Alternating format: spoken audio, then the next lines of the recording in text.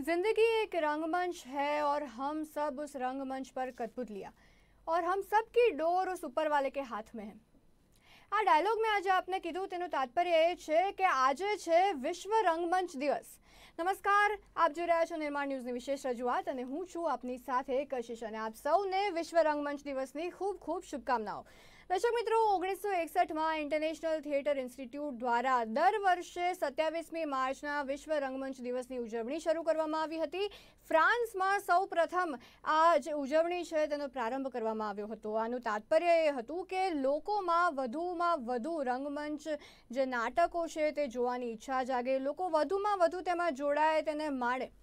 હવે જ્યારે આપણે વાત કરીએ છીએ રંગમંચની, તો રંગમંચની દુનિયા છે ને, એકદમ અનોખી દુનિયા છે. એમાં જેટલું પણ આપણે જીવવાનો પ્રયત્ન કરીએ ને એટલું ઊંડું આપણને ઉતરવાની મન થાય. થોડુંક જીવીએ ને એવું થાય કે ના, હજી વધુ કરવું, હજી વધુ જોવું, હજી એમાં વધુ કામ કરવું છે. અને કહેવાય ને કે ઊંડા ઉતરવાની બહુ જ તીવ્ર ઈચ્છા થઈ જાય, કારણ કે એટલું રસપ્રદ છે રંગમંચ. હવે આવી જ એક રંગમંચની દુનિયા જે આપણે ભારતમાં જીવી રહ્યા છીએ, ગુજરાતમાં જીવી રહ્યા છે તેમાં આજે ડોક્યુ કરવાનો પ્રયાસ કરીએ. આપણી સાથે આજે ઉપસ્થિત છે ખૂબ જ કહેવાય ને કે એફિશિયન્ટ જે આપણે કહી શકીએ રંગકર્મી છે, જે ખૂબ જ ટેલેન્ટેડ છે. તેમની સાથે તે દશકોથી રંગકર્મી તરીકે તેઓ કાર્યરત છે, રંગમંચ સાથે સંકળાયેલા છે. તો સિદ્ધાર્થ રાંદેરિયા, જેને આપ ગુજ્જુભાઈ તરીકે ઓળખો છો, તથા દક્ષિણ છારા, જે ખુદ રંગકર્મી છે આ બંનેનું સિદ્ધાર્થભાઈ અને દક્ષિણભાઈ કાર્યક્રમમાં સ્વાગત છે. તો સિદ્ધાર્થભાઈ આપ આટલા સમયથી રંગમંચથી સંકળાયેલા છો, આપે દશકોથી આમાં કામ કર્યું છે, આપે ઘણા બધા બદલાવ રંગમંચમાં જે થયા છે તે જોયા છે કે રંગલો રંગલીથી લઈને સસ્પેન્સ, થિયેટર જે આખું જે નાટકો જે રચાયા છે, બધાનો આ પાર્ટ રહેલા છો. તો આપ, આપનો અનુભવ જણાવો કે આજે ઇવોલ્યુશન થયું, એ કેવું રહ્યું, કેટલું રસપ્રદ રહ્યું? આપ કયો. પહેલા તો ઇવોલ્યુશન છે એવું નહીં કહું evolution means what from a nascent stage એટલે કંઈક એક બીજમાંથી તમે આગળ વધ્યા ને વટવૃક્ષ બન્યા. ના, એટલે આજથી ચાલીસ વર્ષ પહેલા પણ જે નાટકો ભજવાયા, એની જગ્યાએ એ માતબર જ હતા. એટલે you have not evolve the activity was always there theatre એના એ રૂપમાં મોજૂદ જ હતું. જૂની રંગભૂમિ જેને કહીએ, આપણે તો એ પણ એ વખતે મોજૂદ હતી. લોકપ્રિય હતી. લોકોને ગમે એવા નાટકો ત્યારે પણ તૈયાર થતા હતા અને આઉટસ્ટેન્ડિંગ નાટકો હતા. ત્યાર પછીનો જે ફાલ આવ્યો ફિફ્ટીઝ તો ત્યારે પણ એ રીતે ગુજરાતી નવી રંગભૂમિની શરૂઆત થઈ. તો એ વખતે પણ ઘણા બધા પ્રયોગો થયા અને એ સમયે એ જે પ્રકારનું ઓડિયન્સ હતું એને ધ્યાનમાં રાખીને એવી રજૂઆતો થઈ અને નાટકો સફળ નીવડ્યા. એટલે every ten twenty years things keep changing but એટલે ઇવોલ્યુશન નહીં કહું ઇવોલ્યુશન ઇઝ ક્યાંક તમે નાનામાંથી મોટું ગ્રોથ આવ ત્યારે પણ આ દરેક તબક્કા પોતાની રીતે સફળ જ હતા અને સારા જ હતા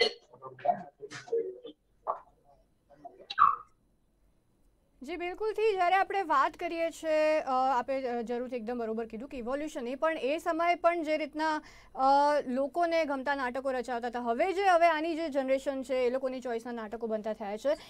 દક્ષિણભાઈ આપ કહો કે આપ જે રીતના સોશિયલ વર્ક રિલેટેડ વધુ નાટકો કરો છો, જે સ્ટ્રીટ પ્લેઝ ને એમાં આપ વધુ સંકળાયેલા છો, તો બે ભાગ હોય છે. ક્લાસ માટે નાટક બનતા હોય છે અને માસ માટે નાટક બનતા હોય છે. આના પર આપનો કેવો અનુભવ છે? સૌથી પહેલા તો સૌ બધાને વિશ્વ રંગમંચ દિવસની ખૂબ ખૂબ શુભકામનાઓ. અત્યારે હું લુણાવાડા નામનું એક નાનકડું શહેર છે, ત્યાંથી બોલું છું.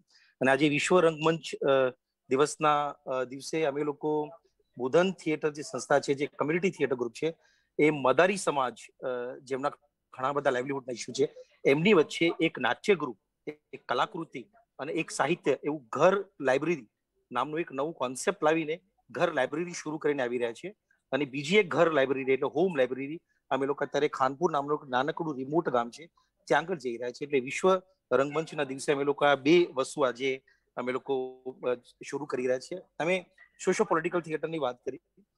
ઓફકોર્સ હું ઘણા વર્ષોથી જોડાયેલું છું. બુધન થિયેટર જે છે એ અમદાવાદ છારણ ખૂબ જ એક્ટિવ કમ્યુનિટી થિયેટર ગ્રુપ છે અને સોશિયો પોલિટિકલ થિયેટર કરતું આવ્યું છે. મને એવું લાગે છે કે માસિસ અને જે એક્ટર જે છે એક્ટર અને સ્પેક્ટેટર એ બંને સિક્કાની બંને બાજુ છે, એક સાથે બહુ બહુ જ સારી રીતે જોડાયેલા એક એન્ટિટી છે.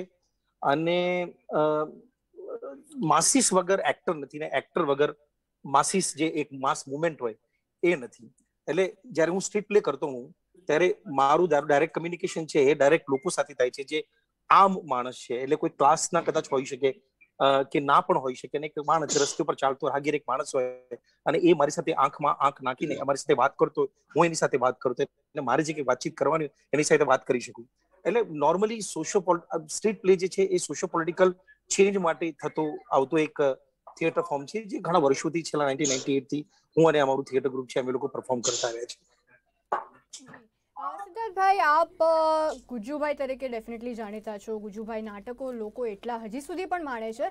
આપને કેવી રીતના પ્રેરણા મળી કે આપ રંગમંચ સાથે જોડાઓ? રંગમંચમાં આપ કારકિર્દી નિભાવો? રંગકર્મી તરીકે આપે આપનું જીવન આખું ગુજાર્યું છે. તો આપની પ્રેરણા શું હતી? અને આપના જીવનમાં એવું કંઈ થયું હોય કે જેણે કહેવાય ને કે આપને મોટિવેટ કર્યા હોય આ ફિલ્ડમાં રહેવા માટે? આપણે બધા જ એમાં માનીએ છીએ, વારસાગત મારા કેસમાં એવું કહી શકાય.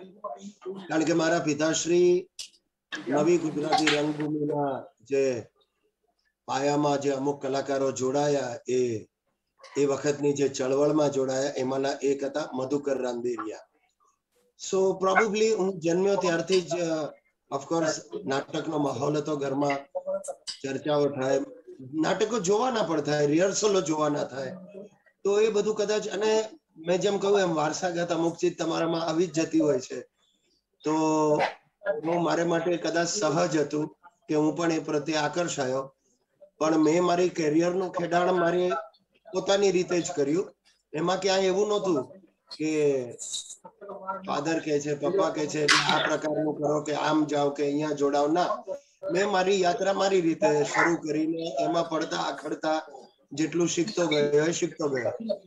ઓફકોર્સ મને જે પણ કઈ અનુભવના જ્ઞાનથી હું જે પણ પામ્યો છું અનુભવથી પામ્યો છું. I have not attended any dramatic school or anything like that કે રીતસરની જેને તાલીમ કહેવાય. કારણ કે એ દિવસોમાં સિત્તેર ના દાયકામાં એટલી બધી એ બહુ ફેસિલિટીઝ પણ ઓછી હતી અને કદાચ તમે કહો તો એમાં સંકોચ પણ હતો અરે ભાઈ, ભણવા ભણવાનું છોડીને તારે આમાં જવું છે. જો કે મારા ઘરમાં એવું વાતાવરણ નહોતું, હું લકી હતો. પણ શીખતા શીખતા શીખતા ચાલીસ વર્ષની યાત્રા આજે થઈ ગઈ. દર્શનભાઈ જે રીતે સિદ્ધાર્થભાઈએ વાત કરી કે એમને વારસામાં આવ્યું હતું. હવે બે પ્રકારના રંગકર્મીઓ હોય છે. એક જે શીખીને આગળ વધે છે અને બીજા જેમને વારસામાં આવે છે કે બાય બોન એમનામાં એ ટેલેન્ટ આવી જાય છે. હવે આ બે જે એક્ટરો હોય છે તેમાં આપના મતે કોઈ તફાવત હોય છે કે તેમની જે રંગકર્મી તરીકેની જર્ની હોય છે એમાં કોઈ બદલાવ બંનેમાં તફાવત આપના મતે? ના એટલે કોઈ તફાવત એવી રીતે કોઈ દેખાતો વિઝિબલ કોઈ તફાવત નથી કારણ કે દરેક વ્યક્તિ પોતપોતાના અનુભવથી થિયેટર કરતો હોય. બીજા જે વારસામાં આવે તો એમને પહેલેથી જે લાઈનમાં ચડેલા હોય. એટલે દાખલા તરીકે મારું કોઈ થિયેટર બેકગ્રાઉન્ડ નથી એટલે મારા ફાધર એ કોઈ થિયેટર મેકર નહોતા. માય ફાધર વોઝ થીફ એ ચોરી કરતા હતા અને મારા ફાધરની આખી જનરેશન છે એ લોકો ચોરી કરવા જતા હતા. એટલે મને એમની જે ચોરી કરવાની જે કલા છે એ કલાની અંદર, એટલે હું કલા કહું છું. તમે ભલે ક્રાઇમ કહેતા, પણ મારા માટે કલા હતી. કારણ કે એ કલાના માધ્યમથી મારા મા બાપ જે છે એ મારું પેટ ભરતા હતા. એટલે એ આખી ઘટના જે છે that was a live theatre એ બહુ રિયલ લાઈફ થિયેટર હતું. એ રંગમંચનું થિયેટર નહોતું. એ સડક ઉપરનું થિયેટર હતું. જે બી એ લોકો જે પ્રકારની ચોરી કલાની જે ચોરી માટે જે કલાનો ઉપયોગ કરતા હતા. એટલે આઈ જસ્ટ એ એ કદાચ અમારી ગળથુથીમાં હતું જેવી રીતે સિદ્ધાર્થભાઈએ કીધું કે એમના ફાધરથી અમને વારસામાં મળી છે. એવી રીતે અમને અમારા ફાધર અમારી જે જનરેશન છે ફોર ફાધર એમને જે ચોરી કરવાની કલા હતી એ કલા અમને ગળથુથીમાં મળી. પણ એનો ઉપયોગ અમે લોકોએ જે સોશિયો પોલિટિકલ ચેન્જ માટે જે કર્યો છે બસ આટલો જ તફાવત છે. બીજો કોઈ તફાવત આની અંદર છે જી. સિદ્ધાર્થભાઈ આપ સ્ટેજ આર્ટિસ્ટ છો અને દર્શનભાઈ આપ સ્ટ્રીટ પ્લે વધુ કરો છો. જી હેલો મહત્વની વાત બીજી એ છે કે આ છે ને એન્જિનિયર બનવું કે સીએ બનવું, એકાઉન્ટન્ટ કોમર્સ, એવું છે કે તમે તમારા દીકરાને ફોર્સ પણ કરો કે અરે ભાઈ આપણી તો કંપની ચાલે છે, તું આજ કર.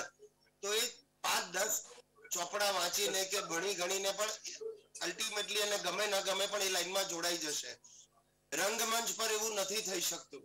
તમે કોઈને ફોર્સ કરીને ડાયરેક્ટર કે એક્ટર નથી બનાવી શકતા. એને, એનામાં એ આવડત ઇનબર્ન હોવી જોઈએ. એ રુચિ એનામાં હોય ને તો જે કરી શકે, તો જે સફળ થાય અને સર્વાઈ પણ થાય. એટલે આ એવી વસ્તુ નથી કે ભણીને આવો એટલે હું એક્ટર બની જાઉં. ના, એવું જરાય જરૂરી નથી. તમારામાં ક્યાંક કશેક તો હોવું જ જોઈએ.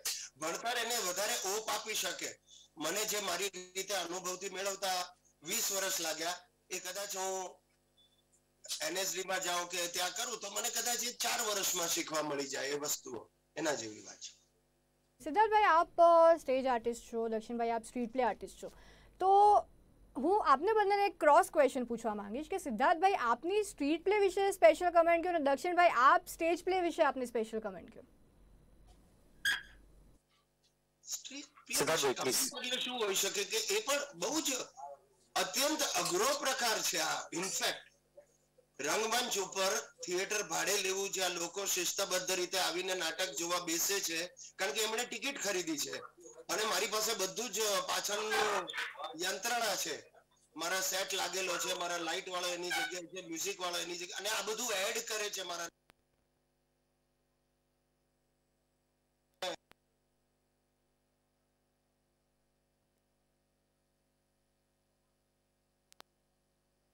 પરિબળો ત્યાં મને હેલ્પફુલ થાય છે. જ્યારે street play is a raw thing કે જ્યાં તમે જે બોલો છો, તમારો અભિનય અને તમારો કન્ટેન્ટ તમે શું બોલો છો, એ લોકોને જકડી રાખવા માટે ઇફેક્ટિવ છે કે નહીં, તો જ લોકો ઊભા રહેશે.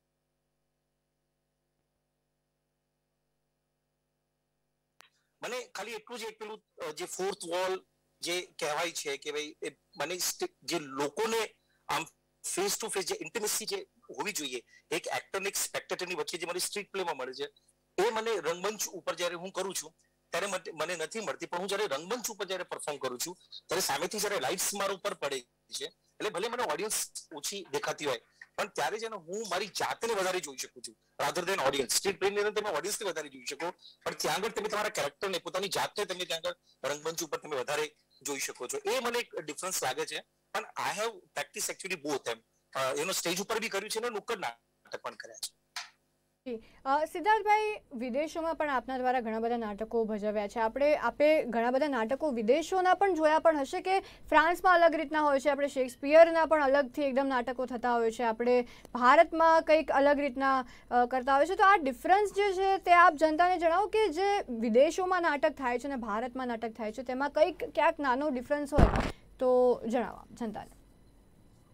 નાટક નાટક છે ગુજરાતીમાં તો એવો આખો એક દોર રહ્યો હું આપને કહેવા માંગીશ કે આપ જનતાને કહો કે જે રીતના સાઉથની સાઈડ આપણે જોઈએ તો નાટક અલગ રીતના હોય છે ડાન્સ ફોર્મમાં વધુ હોય છે, દિલ્હી બાજુ જોઈએ તો રામલીલા, કૃષ્ણલીલા હોતી હોય છે. આપણે ગુજરાતમાં રંગલો રંગલીથી શરૂઆત થઈ હતી.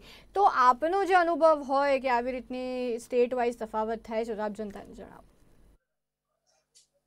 આ હું કઈ કહેવા માંગીશ એક બહુ મહત્વની વાત છે. એટલે આપણને સમય નથી આપતા બોલવા માટે. એમણે હા એટલે પાછું પેલું કોમ્પ્યુટર જેવું થાય છે મારી સાથે. કોમ્પ્યુટર જેવું થાય છે ખરેખ ખરેખર ના તો સિદ્ધાર્થભાઈ જે વાત તું કરતા હતા, ક્યારથી કઈ કહેવા માંગે છે પણ આ બે નાટકતા નથી. કે વિદેશોની વિદેશોની અંદર ત્યાં નાટક ઓછું દેખાય છે અને ટેકનિક વધારે ટેકનોલોજી વધારે દેખાય છે એવા પ્રકારના પણ નાટકો છે. પણ જ્યારે હું ઇંગ્લેન્ડમાં ભણતો હતો મને ફૂડ ફાઉન્ડેશનની ફેલોશિપ મળી હતી મેં ઘણા અલગ અલગ પ્રકારના આખા યુરોપની અંદર થિયેટર જોયા હતા. એમાં જે સૌથી અદ્ભુત પ્રકારનું જે થિયેટર મેં જોયું હતું, એ જે પબ હોય, જે દારૂ પીવાના જે પબ હોય, એ પબની પાછળ નાનકડા સ્પેસની અંદર એ લોકો જે એક એકદમ ઇન્ટિમેટ સ્પેસ બનાવેલો હોય અને એની અંદર એ લોકો નાટક, એટલે તમને દર ગલી મોહલ્લામાં તમે જાઓ, તો તમને થિયેટર સ્પેસ મળે. ભારતની અંદર, એટલે એમની પાસે એટલો સબ્જેક્ટ નથી, ભારતમાં સબ્જેક્ટ અઢળક છે પણ ભારતની અંદર આવા ગલી મોહલ્લામાં આવા પ્રકારના નાના મોટા એક્સપેરિમેન્ટલ સ્પેસીસ નથી. આજે વિશ્વ રંગમંચના દિવસે આપણે આના ઉપર ચર્ચા કરવી જોઈએ કે આવા પ્રકારના સ્પેસીસ આપણી પાસે કેમ નથી. એક ઇન્ટિમેસી એક એક્ટર અને સ્પેક્ટેટર વચ્ચે થાય તો જે કંઈક સોશિયો પોલિટિકલ થિયેટર કરવું એ બી થાય એન્ટરટેનમેન્ટ થાય અને દરેક સમાજના વર્ગની છે એના નાટક એમના સુધી પહોંચી શકે કદાચ એવું છે, કદાચ એવું છે કે રુચિ નથી, દર્શકોની રુચિ નથી એટલે એનો અભાવ છે, એવું પણ બની શકે. મને એવું લાગે છે કે આપણો દેશ તો ડિમાન્ડ એન્ડ સપ્લાયમાં છે.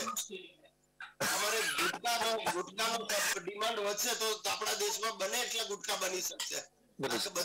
એવી રીતે જો નાટક માટેની રુચિ જો લોકોની એવી હોય કે આજે મોલમાં પણ જઈને એમ કેતા અરે ભાઈ કુછ પરફોર્મન્સ હે ક્યા?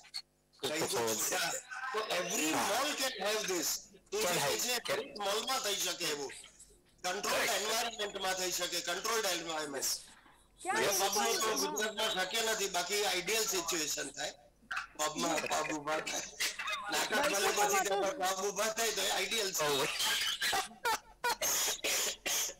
જી, સિદ્ધાર્થભાઈ, આપે જે રીતે કીધું, દર્શકોમાં તો રુચિ નથી. કદાચ દર્શકોને તો એવરી ટાઈમ કંઈક નવું જોવું હોય છે. પણ કદાચ રંગકર્મીઓ પણ એવા હોય છે કે એ લોકો જે રીતની હાલની જે સિચ્યુએશન છે રંગમંચની કે એ લોકોને એટલું પે નથી મળતું, એટલું મહેનતાણું નથી મળતું. એટલે કદાચ એ લોકો એટલા એફર્ટ્સ નથી કરતા. જે લોકો એવા બી છે જે ખાલી દર્શકોની તાળીઓથી પોતાના ખિસ્સા એમના ભરાઈ જાય તો ખુશી થાય કે ના, અમને આટલી એપ્રિસિએશન મળી. વિધાઉટ કહેવાય ને એક્સપેક્ટેશન વધુ પેની એ લોકો આમાં ઉતરી જતા હોય છે. પણ એવા ઓછા લોકો. નથી નથી, બેન. મળે ત્યારે ના પાડનારો કોઈ કલાકાર નથી, કોઈ બિઝનેસમેન નથી. મળે તો હું શું કામ ના પાડું? મને પૈસા, લોકો એમ કહેતા કે ના, અમે ટિકિટ લીધું તો એમ કહું કે નહીં નહીં લેતા ટિકિટ નહીં લેતા. પ્લીઝ મફતમાં જુઓ. તમે તાળી પાડશો ને તો મને બહુ આનંદ થશે. એવું હોતું જ નથી કે મને માત્ર તાળીથી મારું પેટ ભરાઈ જશે. શું કામ? વાય એવું કઈ હોતું જ નથી. જ્યારે રંગમંચમાં એટલું લોકોને પે નથી મળતું, ત્યારે લોકો જે એનો સ્ટ્રગલિંગ સ્ટેજ હોય ત્યારે ઘણીવાર એમાં પણ એ રીતના પણ કરતા હોય ઓછા કહેવાય ને કે કોમર્શિયલી જે એટલું બધું ના થતું, એવી રીતના પણ કરતા હોય છે. એટલે ત્યારે આ જે સ્પેસ ને બધું હોય છે ને, એટલું ઇનોવેશન એ લોકોમાં નથી આવતું. કારણ કે આપણી પાસે કદાચ એટલા સોર્સિસ નથી ઇકોનોમિક સોર્સિસનો અભાવ હોય છે. તો જે રીતના આપણે દક્ષિણ ભાઈ સ્ટે સ્ટેટની વાત કરતા હતા રાજ્યની વાત કરતા હતા કે તફાવત રાજ્ય વાઇઝ કેવો આપે જો છે જનતાને આપ આપનો અનુભવ કરો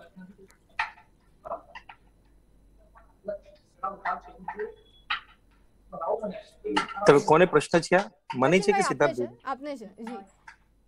હા શું? હા શું કીધું તમે? સ્ટેટ જે સ્ટેટ રાજ્ય વાઇઝ જે તફાવત આવતી હોય છે કે સાઉથમાં ડાન્સ ફોર્મમાં વધુ સંકળાયેલા હોય છે કે આપણે ગુજરાતમાં રંગલો રંગલીથી શરૂઆત કરી હતી તો દિલ્હી બાજુ રામલીલા કૃષ્ણ લીલાને વધુ મહત્વ આપતા હોય છે એટલે અલગ અલગ ફોર્મ છે. તમાશા પણ એક one of the dance forms એને આપણે કહી શકીએ. તો આ જે વિવિધતા જે નાટકોમાં રાજ્યમાં પણ આપણને અલગ અલગ રાજ્યોમાં જોવા મળતી હોય છે તો આપનો અનુભવ જણાવો.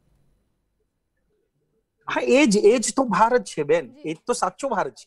આ વિવિધતા છે, આ જે ડાયવર્સિટી છે, એ જ તો આપણો સાચો ભારત છે. આપણે જે ઘણી વખત વન ઇન્ડિયા વન લેંગ્વેજ ને આપણે જ્યારે વાત કરી રહ્યા હોઈએ ત્યારે, એટલે આખા દેશને એક જ ભાષામાં આપણે વાત જ્યારે સાતસો વીસ લેંગ્વેજીસ આ દેશની અંદર જીવતી હોય અને આટલી બધી ડાયવર્સિટી હોય, એ ડાયવર્સિટીને આપણે ખતમ કરવાની વાત કરીએ છીએ. એટલે દરેક સ્ટેટનો પોતાનો આર્ટ ફોર્મ છે, દરેક પોતાની, દરેક વ્યક્તિની પોતપોતાની સ્ટાઇલ છે, નાટક કરવાની, ગીત ગાવાની, સંગીત કરવાની દરેક વ્યક્તિની પોતપોત દરેક સ્ટેટની પોતપોતાની લેંગ્વેજીસ છે.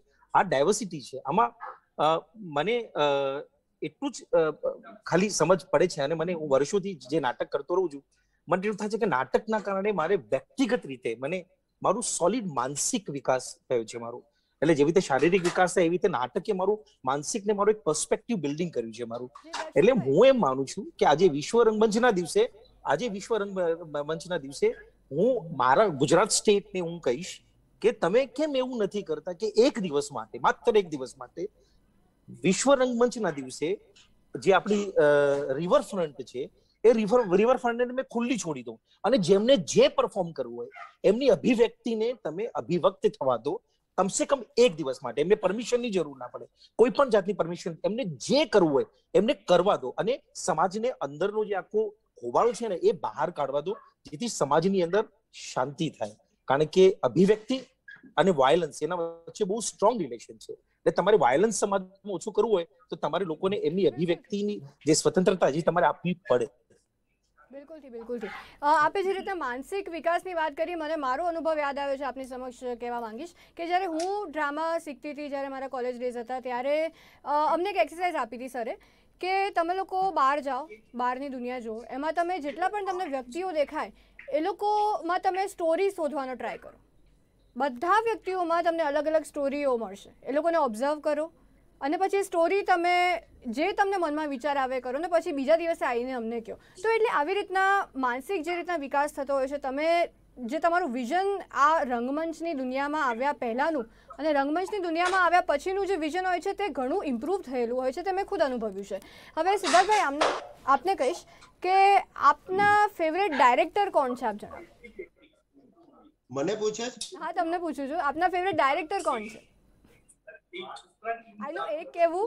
જરાક થોડું એક એવો કોઈ સવાલ નહીં આ એના જેવું છે કે તમારું ગમતું નાટક કયું? અરે મને ગમતું હતું એટલે જ મેં કર્યા છે. બધા જ નાટક મને ગમતા હતા એટલે મેં ના પણ એક એક એવા કોઈક ડિરેક્ટર હશે જેમની પાસેથી આપને કંઈક અલગ કહેવાય ને કે બધા કરતા ના, કંઈક અલગ એવો એક્સપિરિયન્સ રહ્યો. દરેક જેમ દરેક એક્ટર પાસે પોતાની એક આગવી શૈલી હોય છે ને એમ દરેક ડાયરેક્ટર પાસે પણ પોતાની એક આગવી શૈલી હોય છે અને એટલે ઓળખાતો હોય છે. હિચકોક વોઝ નોન કારણ કે એ એ- જાતના એ થ્રિલર્સ ને સારી રીતે ટ્રીટ કરી શકતા હતા. એટલે દરેક થિયેટરની પણ વાત કરું તો પ્રવીણ જોશી પાસે પોતાની સ્ટાઇલ હતી Kanti Madia has his own style એમની પાસે પોતાની હતી. ઉપેન્દ્ર ત્રિવેદીએ પણ નાટકો કર્યા. આ એ તબક્કાની વાત કરું છું. સેવન્ટીઝથી એટીઝ દરમિયાન અને આજની તારીખે પણ જેમ દરેક દિગ્દર્શક પોતાની રીતે એને માવજત આપતો હોય છે. અને ક્યારેક જે સફળ નીવડે ત્યારે એ દિગ્દર્શકનું પણ નામ થાય છે કે આ નાટક આણે જ કર્યું અને આ જ સરસ કરી શકે. બીજા કોઈએ કર્યું હોત તો એટલું સારું ન થાય. કે દરેક પાસે પોતાની એક આવડત છે. જેમ કલાકારને કે આ રોલમાં છે ને આ જ માણસ સરસ કરી જાય. બીજું કોઈ હોત તો આ આટલો ખેંચી ન જાતા રોલ એટલે ઇટ ઇઝ એવરીબડી ઇન્ડિવિજ્યુઅલ એક આવડત જે હોય છે એ કામ આવે. અને તમે વધારે ફેલાયેલા વધારે પ્રકારના રોલ્સ કરી શકો ત્યારે તમારે લોકોના મગજમાં તમારી પ્રતિભા એ રીતે ઊભી થાય. આ બહુ ફાઇન એક્ટર છે દરેક પાત્રને સારો ન્યાય આપે. ત્યારે એ તમે વધારે સફળતા મેળવો છો. જી. અ, દક્ષિણભાઈ ઘણા બધા નાટકો પરથી મૂવીઝ બનેલી છે. અને ઘણી ફેમસ હિટ પણ ગઈ છે. પણ ઘણી એવું થાય કે નાટકની જે એકચ્યુઅલ જે મજા હતી ને મૂવીઝમાં બગડી જતી હોય છે. અમુક એવી રીતના મૂવીઝ બનાવતા હોય છે બધા ચેન્જીસ લઈને. તો એના પર આપ શું કહેશો? જો ફિલ્મ ટેકનિક અને ફિલ્મ દ્વારા તમારે સ્ટોરી ટેલિંગ જે કરવી એ આખી અલગ ટેકનિક છે એક આખી એક અલગ કલા છે. હા, અને થિયેટર જે છે તમે લાઈવ આર્ટ જ્યારે તમે જોઈ રહ્યા હોય સ્ટેજ ઉપર જોઈ રહ્યા હોય કે સ્ટ્રીટ ઉપર જોઈ રહ્યા હોય કે એક્સપેરિમેન્ટલ સ્પેસ ઉપર જોઈ રહ્યા હોય એ બંને બહુ અલગ આખી ઘટનાઓ છે. એટલે તમને દાખલા તરીકે ઇન પર્સન ફિઝિકલી તમારે એક એક્ટરને બોલતો જોવો હોય અને તમે જ્યારે એમનું નાટક જોતા અને સ્ટોરી ટોલિંગ ટેલિંગ જોતા હોય, ત્યારે કદાચ એ તમે દાખલા તરીકે સૌમ્યનું નાટક છે, તો સૌમ્યનું નાટક મને સ્ટેજ ઉપર અદ્ભુત ગમે છે. એ એ માણસ એક સેકન્ડ માટે કોઈને વિચારવા નથી દેતો કોન્સ્ટન્ટલી બે કલાક ત્રણ કલાક હોય તો પણ હું એની અંદર રહું છું. પણ જ્યારે એના ઉપર, એના નાટક પરથી કોઈ તારે કોઈ ફિલ્મ બને છે, દાખલા તરીકે મને ખબર નહીં, હું ભૂલી ગયો છું એ નામનું કોઈ ફિલ્મ બનાવી હતી.